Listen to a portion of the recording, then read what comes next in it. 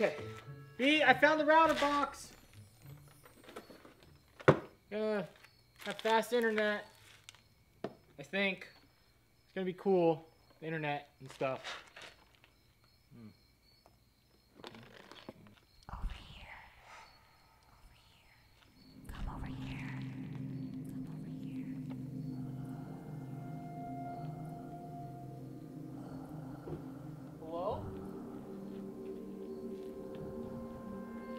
This way. Is there anybody inside my basement right now?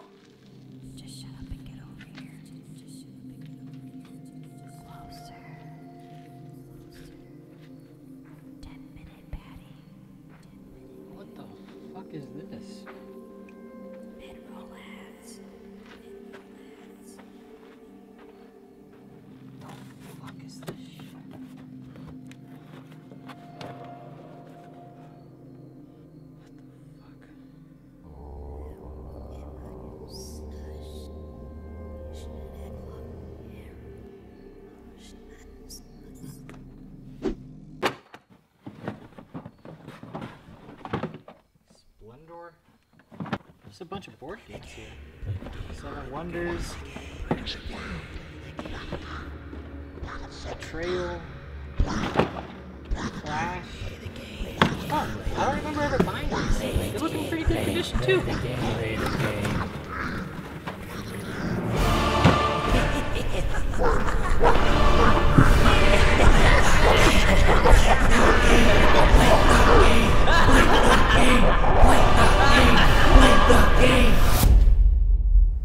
year is 2016. League of Legends is at its peak, and although Dunkey just recently quit the game, the player base is still going strong. There is no Fortnite.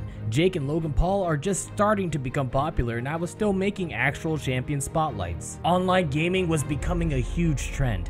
Esports was taking over, and MOBAs were being pushed left and right. It was truly a great time to be alive, and standing above it all was a small indie company by the name of Riot Games.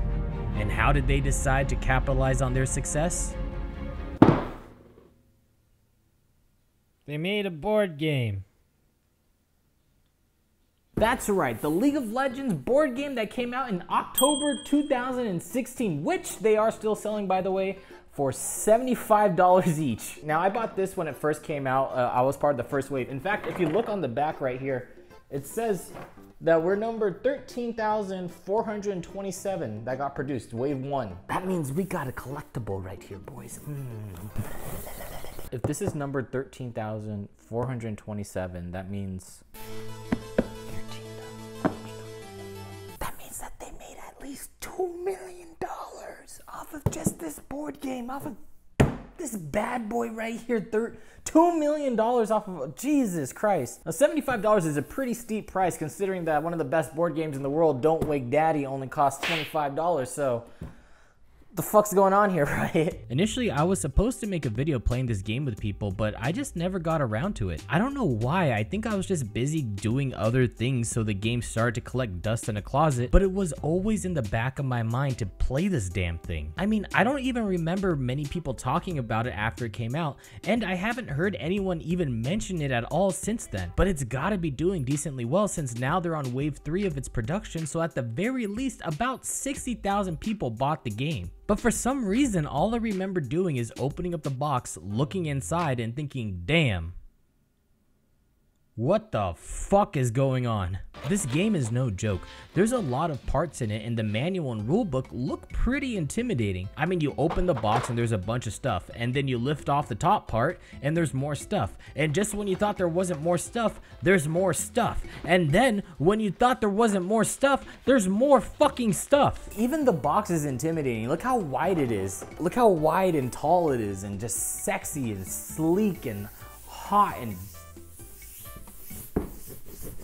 if you rub it enough times, a genie comes out and grants you a wish. And it's actually heavy. You can't tell because of my massive strength. Also, all the pieces are out on this table right now. You know how usually if there's an intruder, you have like a baseball bat at the corner of your bed? Or maybe if you're feeling frisky, a gun. Instead, you could just probably just use this entire box as a way to just fend off people. There's 5 mechs, 100 minions, 1 bomb piece, 4 crystal shards, 1 gear tracker, 2 gear rings, 4 rune coins, 96 command cards, 55 damage cards, 5 map tiles, 1 school, 1 color compass, 5 command lines, 2 dice, 2 rune dice, 1 Zhonya's minute glass, Get it? One rulebook, one tutorial, 10 mission envelopes. Jesus, I, I think in total we've got over 300 pieces. And apparently there's stuff in these envelopes too. That's a lot of shit. But I mean, you have to hand it to Riot. They really did a good job with the pieces for this game. I mean, it looks really cool. The amount of detail that went into this is really astounding and it doesn't feel cheap at all. Like, I thought these coins were just plastic, but there's some kind of metal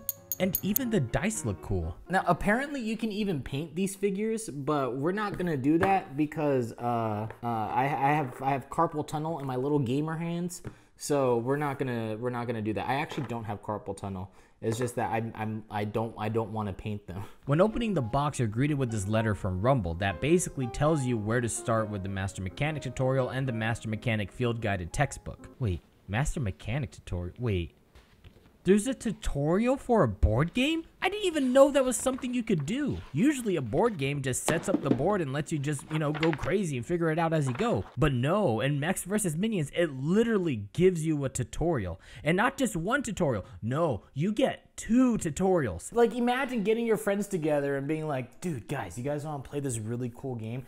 It cost me $75. And guess what? There's so much shit that you can do in it. It's really, really fun. Uh, yeah, you guys want to play? You guys want to play the game? Yeah, here, play the two tutorials first and then get back to me.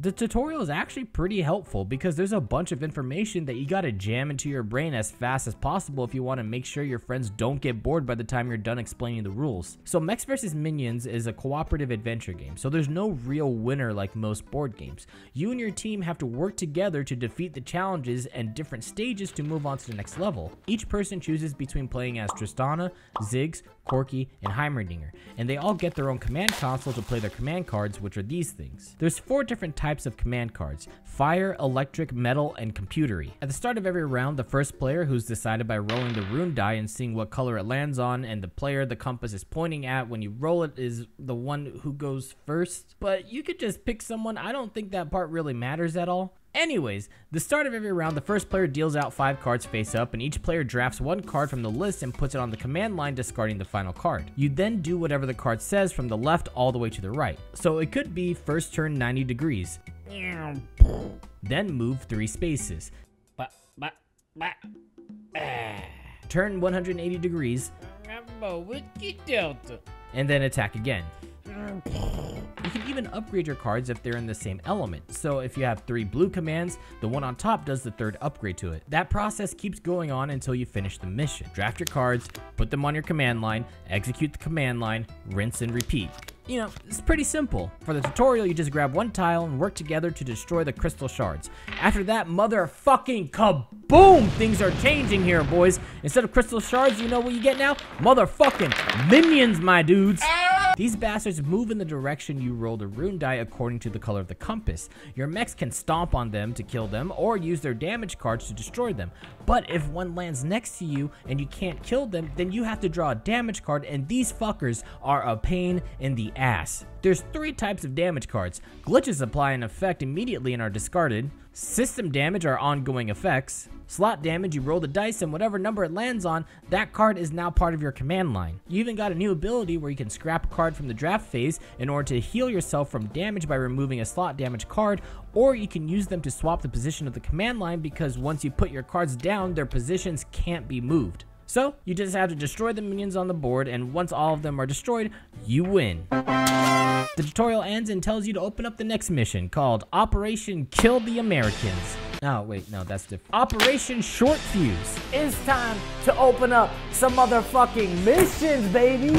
Boom, Tiny Evil, a short fuse, Tempest Heart, ba Bandle City Beatdown. Get get wrecked. That's that's one. Hammer Keeper, Dazzling Dazzling Danger, Burning Vengeance, Burning Vengeance, Bernie Bernie Sanders, Missing Link, yeah. Magical Banana. Ah, it's top secret. Don't look. Don't look at them. Like honestly, this is what made me not want to play the game because like I just I didn't want to open up these packs, dude. They look so cool and they're top. It says top secret. I don't want to open it and then ruin my immersion. There's a cute little dossier inside that tells you how to set up the game for this mission and what new rules and challenges are added to the game.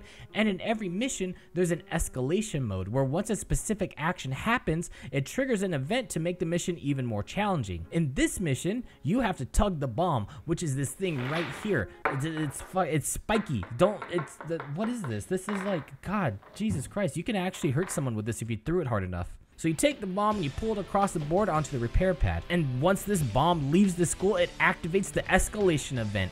And now, the drafting phase where you pick your cards is now set on a 1 minute timer using the Zhonya's Minute Glass. On top of that, every round minions spawn on the empty rune spaces that are trying to destroy your bomb. If the bomb takes 5 points of damage, then you lose. Plus, you even got your new Overdrive ability that charges up every time you kill 5 minions. When your team kills a total of 75 minions, everyone gets access to their Overdrive ability. And that's not it, because everyone also gains new cards with their character, and after your overdrive counter gets to a certain number, that character gets to activate their new mech schematic to make their unit even fucking stronger. Oh, I see your bomb is right here. Would be a real shame if it fucking just die. There's so much that can happen in the game, and it's all really entertaining. There's about 10 different missions in the game, each one adding in new challenges and making the game more and more complex. So going from the tutorial and following the roadmap onwards, it's actually very helpful.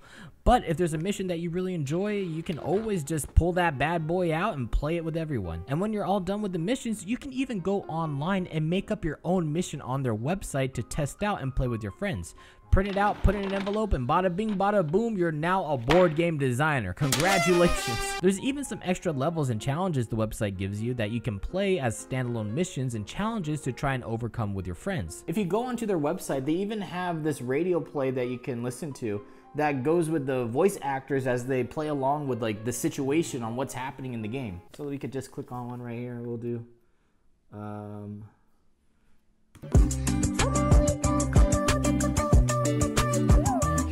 In all, the game is actually pretty fucking cool.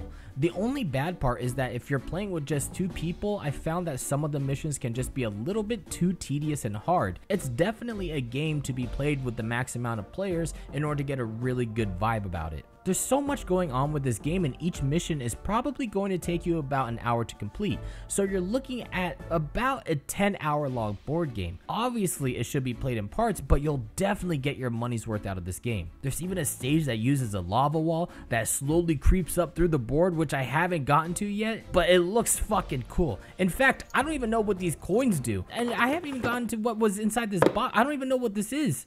There's and there's more cards inside of it. But yeah, that's Mechs vs. Minions. It cost $75. Uh, it came out in 2016. Haven't heard a lot of people talk about it, but I think it's really good. I uh, honestly, I think I like this. This is kind of like the same concept of um, uh, Betrayal of House on the Hill. I think that I like this more than that. It's a lot of fun. It's super immersive.